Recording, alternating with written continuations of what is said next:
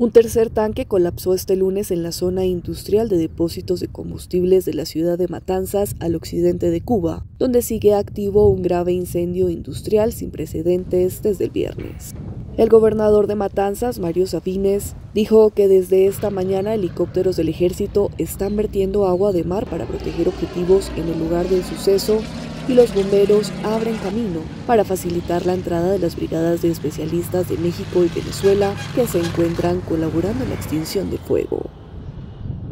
Entre las últimas operaciones indicó que se está instalando una potente bomba hidráulica de grandes dimensiones para rociar con espuma química los tanques incendiados. Las últimas explosiones registradas en el lugar del siniestro provocaron tres heridos leves, según informó la agencia estatal Prensa Latina. Las llamas se han elevado en ocasiones decenas de metros, tiñendo el cielo de la cercana Matanzas de rojo y la enorme columna de humo negro ha alcanzado La Habana.